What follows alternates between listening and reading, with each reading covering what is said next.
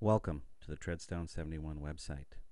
Now, at Treadstone 71, we view cyberspace as a global domain within the information environment consisting of the independent network of information technology infrastructures, including the Internet, telecommunications networks, computer systems, embedded processors, controllers, anything connected, or connected devices. It is the fifth domain of warfare that is under attack daily by nation states, non government organizations, terrorists, criminals, and hacktivists.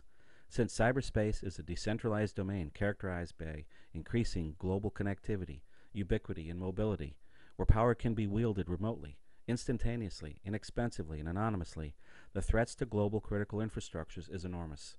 The challenge is unprecedented. The United States, NATO, United Kingdom, and other friendly governments and organizations are inextricably linked to the cyberspace domain, where conflict is not limited by geography or time. Cyberspace crosses geographic and jurisdictional boundaries. The expanded use of cyberspace places our interests at greater risk from cyber threats and vulnerabilities. And cyber actors can operate globally within our own borders, within the borders of our allies and adversaries. The complexity and amount of activity in this evolving domain make it difficult to detect, interdict, and attribute malicious activities.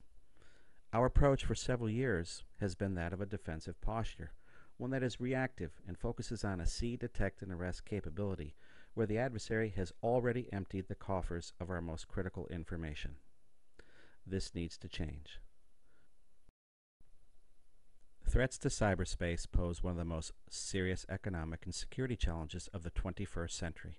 On the flip side, cyberspace offers us unprecedented opportunities to shape and control the battle space to achieve strategic objectives. One of the key factors to meeting these challenges is cyber counterintelligence, or CCI. CCI covers the measures to identify, penetrate, or neutralize adversarial operations that use cyber means as the primary tradecraft methodology. CCI includes activities in cyberspace such as forensics, examinations of information systems, and other approved virtual or online activities to identify, disrupt, neutralize, penetrate, or exploit hostile adversaries. CCI is composed of both offensive and defensive elements. Offensive CCI includes the cyber penetration and deception of adversary groups, while defensive CCI includes protecting vital information and information systems from being obtained or manipulated by an adversary's cyber intelligence in our organizations, activities, and operations. This two pronged approach forms a comprehensive CCI strategy that is informed by collection results and feeds more comprehensive CCI operations. Treadstone 71 strongly advocates for a more progressive approach to CCI. Our doctrine, and we hope that of the United States, includes the collection and processing of technical and intelligence information derived from adversaries by other than an intended recipient. The CCI doctrine expands upon traditional cyber intelligence collection while pursuing the offensive exploitation and defeat of adversarial intelligence activities directed against our interests. Not only does our doctrine protect the integrity of the government and commercial information and information systems, we believe in the use of incisive, actionable intelligence provided to decision makers at all levels that serve to protect vital assets from adversarial intelligence activities while neutralizing and exploiting their cyber intelligence capabilities.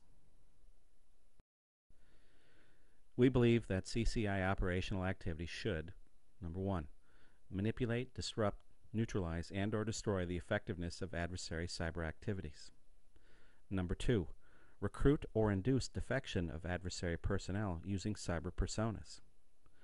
Number three, leverage denial, deception, counter-denial, counter-deception, information warfare, psychological operations, and online media to manipulate, direct, and redirect our adversaries, creating advantages and influencing events that lead to desired outcomes.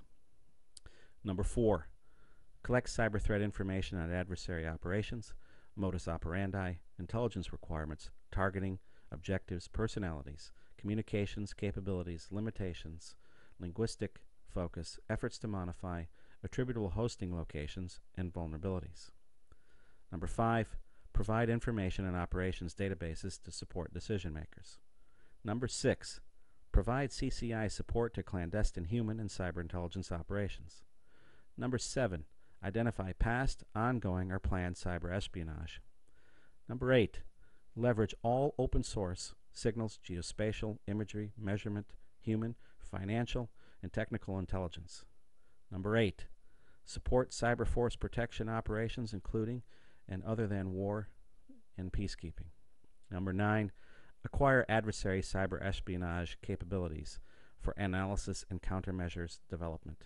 And number 10, develop operational data, threat data, and espionage leads for future CCI operations, investigations, and projects and develop the potential of these leads to enhance cybersecurity overall. A direct component of CCI is cyber espionage. It is the act or practice of obtaining secrets via cyber capabilities without the permission of our adversaries. This includes information, personal, sensitive, proprietary, or of a classified nature, from individuals, competitors, rivals, groups, governments, and enemies for personal, economic, political, or military advantage using cyber exploitation methods. The use of cyber espionage to actively gather information from computers, information systems, or networks, or manipulate, disrupt, deny, degrade, or destroy targeted adversary computers, information systems, or networks must be woven into our cybersecurity strategic plans and operational tactics. Cyberspace has become a main front, the fifth domain of warfare, in both irregular and traditional conflicts.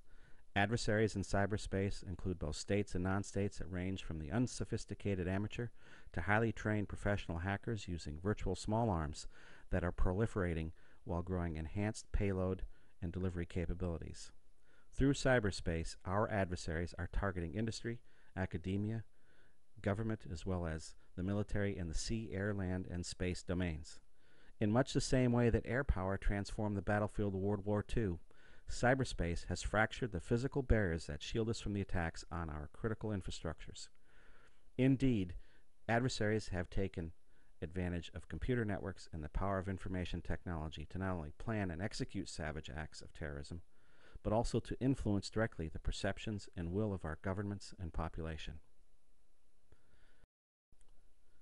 In closing, CCI activities as a component of strong cybersecurity practices must be examined strategically deployed, and operationally delivered, while being continuously enhanced as a method of both active defense and offense. It is time we expanded our reactionary approach from see, detect, and arrest to one that is proactive and aggressive. Thank you.